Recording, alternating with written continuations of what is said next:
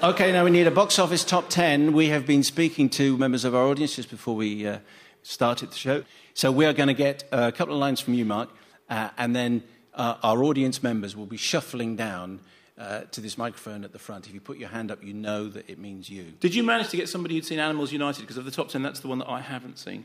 No, we didn't find anyone who'd So seen has no, Animals has United no one seen Animals United? or Fred the movie. Oh, I've seen Fred the movie. Yes, but we, but we really, really don't want to go there ever, ever, ever, ever again. And that's why you have a smaller microphone. Is it? It's for moments like that. So, Due Date is our first film. There was uh, a gentleman who put his hand up who was prepared to admit that he'd seen Due Date. Do you want to come to the front, please, while Mark explains what he thinks of our number 10 movie? Well, the problem with Due Date is, you know, as I've said on a number of occasions, it, it is sort of Hangover 2, except the Hangover 2 is happening. And there are, there are individual moments in it which you think, well, okay, that's quite funny. And I, quite, I think Robert Downey Jr. himself is quite funny. But it is essentially planes, trains, and automobiles, but not done as well. And it's funny that you watch it and you think, well, that's what passes for a half decent comedy nowadays because actually we haven't been surrounded by loads and loads of good comedies. People say, oh, well, I have got no sense of humour. It's not that. It's that, that we have, well, I have, you know, but I've got some sense of humour. But the fact of the matter is, we have not had a great, you know, a, a- a great slew of brilliant comedies recently. We've had a lot of movies that make a film like Due Date make you go, oh, well, you know, hey, actually, it's not as bad as some of the stuff I've seen. Uh, yes, sir, what's your name? Uh, my name's Greg. Okay, Greg, why did you put your coat on to come up on stage? You stood up and you put your coat on. It's boiling here. You You know. know, I don't trust these guys, so I just. Ah, okay, no. Fair enough. Uh, what did you think of Due Date? Uh, underwhelming. Um, I went and saw it by myself. I was bored, so I would recommend you give it a miss. So, Okay, that's exactly what we need. Thank you very much indeed. That's very good. I saw Unstoppable as well. Oh, you saw Unstoppable as well? Fine, stay there. That's very good. Okay, uh, at number nine, Unstoppable. Man in a coat, you go first. uh, yeah, uh, pretty good performance by Denzel Washington. Uh, it, uh, lots of excitement. Tony Scott, like a, it's like an acid trip. So yeah, not bad. I, I recommend that. The, pro- uh, the problem with Unstoppable, You'd recommend. You'd recommend what? Not the acid. No, no, no. Thank you. Don't try that at home. No, no, no, no, no. That's, acid is bad. Denzel's good. On balance, if you had to choose. I mean, the, the, the problem with Unstoppable is that it is, it's like Tony Scott, having done the Taking Pelham 1, 2, 3, thought the problem with Taking Pelham 1, 2, 3 is that the train isn't moving. I know, let's make a film which the train is moving. And, the, and it, it's, you know, it's nuts and bolts, tab A into slot B. And the problem with it, which I think is part of the reason why people like it, is that it is exactly what it says, except, as you keep pointing out, it's called Unstoppable. And however the film is going to end, the train is demonstrably not unstoppable. At the end of the film, the train will stop. You're not going to go and see a film about a runaway train. At the end of it, the train is still running away. Wait a minute, I've paid for an ending. But it, it's, you know, it's, it's based, inspired by a true story, based on real events. There really was a train that really did run away, really did run at about 47 miles an hour for a while, and then they caught up with it. And then it stopped. and, and obviously, the film is slightly more action packed. than the- I mean, I think it's fine. I think it's perfect. But it is a Tony Scott movie of, about an unstoppable train. Fred's at eight, Animal United at seven, and that brings us to. Can I? Can I? Burlesque, Can I? no. no, Jenny, I, I won't do. The, I won't do. I won't do the voice. All right. The thing with Fred, and this is important to say, there is an argument which is okay. Well, you don't like Fred the movie because you're not the target audience for Fred the movie. Therefore, you don't get Fred the movie. And as you all probably know, Fred is a huge internet sensation. It's this kid that started this channel, the Fred channel. I have looked at the Fred bits on the Fred channel, and believe me, they're a lot more entertaining than the movie for two reasons. Firstly, because when he's doing it on the channel, his voice is faster and you know, it's moderately less annoying. But more importantly, they're in four minute chunks. It's like anything else. It's like the Barron Knights. You know, you could probably listen to one Barron Knights single, well, at a push, you know, but you wouldn't want to listen to a whole Barron Knights double album. That's Well, a slightly outdated uh, top 40 hit parade reference. Great, mate. You could listen, great mate. You could listen to Jasper Carrott's Funky Moped and possibly really not moving it on very much. Okay, who is a modern popular comedy group? You says a voice from the audience. How well you've trained them. They don't, they don't think for themselves, they speak like their master. anyway, Fred, right, done that. Uh, Animals United, no point. No, you haven't seen knows. it. No, no one's one got a clue. Uh, burlesque is at number six. Burlesque, it's going to be burlesque. It's for 12 year olds. It isn't really dirty or filthy okay, like enough. burlesque is in real life. It's clean because it's for Okay, it's enough. We have a real reviewer. What's your name, madam? My name's Yulan Suko and I'm from Hampstead School Film Club. Okay, excellent. So you sound as though you know what you're talking about. So what did you make of Burlesque? Um, I think Burlesque was fantastic because throughout the whole movie there was um, amazing music from both Cher and Christina Aguilera. And although it's not a comedy, there was a lot of smart remarks and a lot of wit, so it was actually quite funny as well. So I'd re- recommend it definitely. Excellent. Thank you very much indeed. That's very good. Megamind. Megamind is at number five. You go first. Oh, oh, suddenly? Suddenly I get to go first? Okay. Well, Megamind, I mean, the thing, uh, watching Megamind, I realised that I had underrated The Incredibles. The Incredibles is a better movie than anybody, than I had given it credit for, although everybody else seemed to really like it. Oh, everyone's R-ing now. but it's not great. And, hello, Joe. Hello, Mark. How are you? I'm fine, thanks. Okay, disagree with Mark at your peril. We, we've got a, a reviewer from the audience. What's your name? Joe. We're talking to the microphone. Son. Joe. Okay, Joe who? Joe Mayo. All right, okay. Uh, all right. All right, don't milk it. Joe, you remember at Christmas when I took you to the cinema and Daddy didn't because he was too busy? You remember that? So, Megamind, what did you think? I really loved it. It was really funny. Okay, that's very good. very good. Joe Mayo there.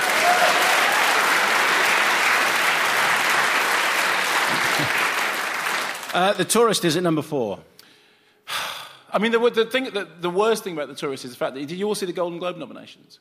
So the Golden Globe nominations in the musical and comedy category, the Golden Globes decided that three of the best musical or comedies of the year included The Tourist, uh, Burlesque, and Red, which is neither a musical nor a comedy, nor indeed one of the best of the year. But um, in the case of The Tourist, it's, you know, it's, if you've seen uh, like Wolfgang Petersen's Shattered, uh, it's basically that movie done with less wit and less intelligence, and it, there's a certain amount of fun to be had in it just because it is so completely goofy and stupid. And it's, it's one of those films at the very beginning of it, they go, somebody, a significant character, has had 20 million pounds worth of facial, facial surgery.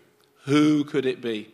Who could it be? Right? And then Angelina Jolie is told to get on a train and find somebody who physically resembles a character that's, you know, that's had $20 million worth of facial surgery. And she finds Johnny Depp. What do you think are the chances that after tw- uh, no, it- but you know, so it's it's completely stupid and dumb, and it's terrible that the Golden Globes gave it. I mean, I, I, I laughed a couple of times. I thought it was perfectly, you know, fun. It's like eating popcorn. It's you know fine for about twenty minutes, then you wonder why you're doing it, but it shouldn't have got a Golden Globe. Uh, what's your name, sir? Hi, I'm Sam where are you from, Sam? Bolton. Okay, what did you make of The Tourist? Uh, well, I, I was looking forward to it for a long time. I mean, it's, it's, a, it's like a fantasy team lineup. Um, from, Hang on, which which bit is the fantasy team? Angeli- Angelina Jolie and Johnny Depp. no, uh, from top to bottom, writers and director. I Okay, so the director is- Lives of Others is, is So there's a- wonderful. Just direct- let him do the No, review. But it's important.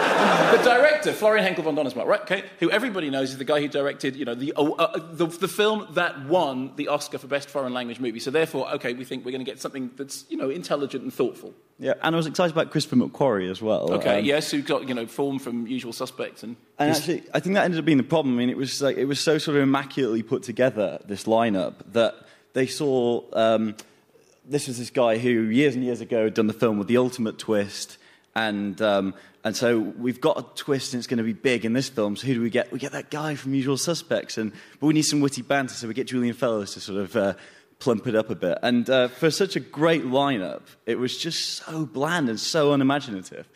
But there's a little bit of guilty pleasure to be had. The main, the, Okay, that's fine. Let's move on now to Harry- Paul Bettany in it. I mean, Paul Bettany is good fun in. Round of applause. Thank you. Okay.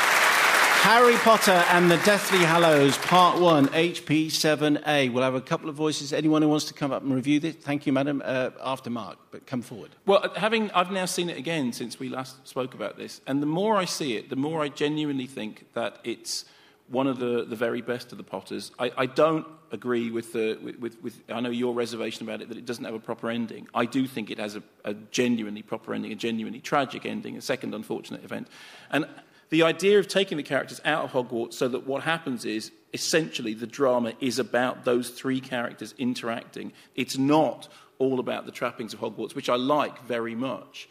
Um, I, I think it really holds up. I think it really holds up as a character piece. Plus, it's, there is a sort of Bergman-esque air of doom about the whole thing, which I like enormously. And I, I'm impressed by the fact you can make a mainstream movie that's you know a good solid length and has done incredibly well at the box office that is essentially about the anticipation of catastrophe because that's what the film's about it's about everyone everything falling apart so that they can reunite in order to have the final battle Madam, what's your name? Hi, I'm um, Lisa. Okay, Lisa, where are you from?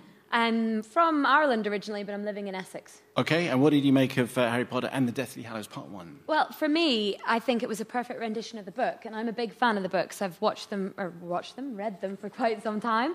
Um, but my boyfriend was with me watching it, and he hadn't read the books. And I think for him, he felt it to be a bit drawn out, but I absolutely loved it. I thought it was a perfect um, version of the books and exactly what I'd imagined. Okay, uh, we've got a couple of minutes before the news and sport coming up. Let's uh, tell you about the number two movie, which is The Chronicles of Narnia, The Voyage of the Dawn Treader. If you put your hand up earlier, please come down. Mark on that. Well, I think of all the, the, the Chronicles of Narnia one, it, it is the weakest. I am reminded that when Chronicles of Narnia first came out, everyone said Lord of the Rings light, and it really kind of is. On the other hand, it's not unlikable. I do think Will Poulter's a really good actor. Um, it's uh, on an allegorical level. It's funny because the narrative has none of the sort of simplicity of the first or indeed the second installments, and it kind of ties itself up a little bit. And the allegory doesn't quite work as well as it does in the first two films. But as we noted before, it's almost fatuous and pointless to point out that it's a religious allegory because it's the Lion, the Witch, and the Witch. It's Narnia. It, the whole thing is a religious allegory. If you hadn't noticed that before now, what have you been doing? So, do we not need to do the warning? May contain spiritual themes. May contain religious stuff. Uh, Chronicles of Narnia, number two. Yes, sir. What's your name? Um, I'm Ed, and I go to university in Brighton. Yes, Ed. Welcome to the programme. What did you think of uh, Chronicles of Narnia, Voyage of the Dawn Treader? Um, I really enjoyed the last two, Yeah. but this one definitely wasn't as good as the other two. And I think the Christian elements were so much more obvious in it. And even though I did like it, I went with my girlfriend, it was okay. I wouldn't. I would go and see the other two again, but I wouldn't go and see this one again. But when you say the Christian elements are so much more, I mean, how much more could they be than they were in the first film? There's a lion, he's there, he sacrificed himself, he dies, then his body's gone, then he comes back, and it's like. And then uh, I know at the end there's in this this, thing. yeah, he goes. Um, I've got a name in my in the other world. Learn to know me. uh, Learn to know that name, and it's even more obvious. It's, I think in the other two, it is obvious, but it isn't kind of smack bang in your face. This is a Christian rhetoric. All right, Ed, thank you very much indeed. The number one movie is Tron Legacy. Ed gets a round of applause. Tron Legacy. We got we got two voices for that, and well, three because Mark goes first. Well, I was sitting there watching Tron Legacy in IMAX 3D, and I like IMAX and I don't like 3D. Yeah, and I must do, tell us about that sometime. Yeah, and I do. I like the idea of Tron because I have a sort of nostalgia. For, I mean, I remember when the first Tron came out, and you said you, you said that you didn't go and see it because you thought it sounded a bit childish, but it was that sort of nostalgia about playing video games and then watching a film that looked like a video game. And so I had a lot of goodwill towards it. Plus, I really like Jeff Bridges, as does everybody. And uh, and I was sitting there watching it, thinking it why is it that seeing this in, in the circumstances in which I'm seeing it, it's the great big screen in the centre of London, apparently being better projected than it will be anywhere else. You know, the thing's in focus, there's nobody kicking the back of my chair. Why is it that all I can think of is that electronic Jeff Bridges' mouth doesn't work properly? and uh, the reason is because the film is, in the end, oddly dull. Yes, sir. What's your name? Uh, Mikey from Edinburgh. Hello, Mikey. What did you make of this? Yeah, I mean, I went to see it again in a massive screen, and I've got to say, when it first comes up to the 3D, generally there was a bit of a woo when it came. So I think people, you know, I know, I know you're always flappy handing about how much. Flappy handing? This is like a, Yeah. a verb. That's a new, it's a Kermode verb, yeah. Um, about how bad 3D is, but actually I think it worked in the context of this film. And yeah, okay, the script was written on the back of a fag packet and chucked away, but it looked amazing. So But crucially, what you said was, he said when the 3D first came up, and that's exactly the point. At the beginning, the logo came out, the Tron, everyone went, wow, look at that, it's right in my. F-. Oh, yeah, it's 3D, isn't it? And that's it. You know, it works for about a minute. Another voice. Yes, sir. Who are you? Hi, Mike from Finchley, the spotter of uh, celebrities in North London cafes. Yes, Mike. Uh, what did you make of Tron? Uh, I was fortunate enough to see this film before I heard Mark's review. Uh, unfortunately, I agree with everything he said about it. Yes. It's, uh, it's dull. The um, CGI Jeff Bridges just doesn't work. It's It not convincing. it? And it's really weird because it's not like they can't do that. I mean, it's not like you look at Gollum and you look at Dobby and you look at what you can do with him. I mean, even you look at Jar Jar Binks. I mean, for heaven's sake. I mean, you know, I don't, no, I know, I know, you know.